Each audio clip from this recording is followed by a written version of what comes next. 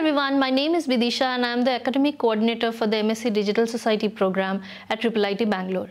MSc Digital Society is a two-year interdisciplinary master's program that trains students in design, deployment and impact assessment of digital technologies across diverse population and domains such as governance, health, media, education and so on.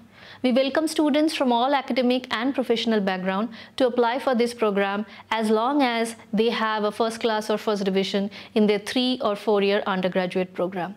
Our innovative curriculum blends courses from social sciences and information technology, which are taught by a group of distinguished faculties who come from both IT and social sciences background. The program offers three specialization streams, namely human-centered digital design, data-intensive digital design, and research and policy studies. As far as placement is concerned, our students choose very different job roles and sectors based on their past qualification, interest and specialization in the program. Our students have typically taken the job roles of product manager, UX UI researchers, data analyst, policy researcher. Some of our students have also gone on to pursue PhD from reputed universities abroad and some have even started their own ventures.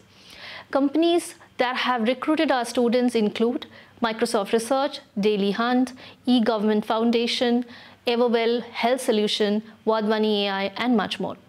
If you believe in building a career in technology that impacts society, this program is tailor-made just for you.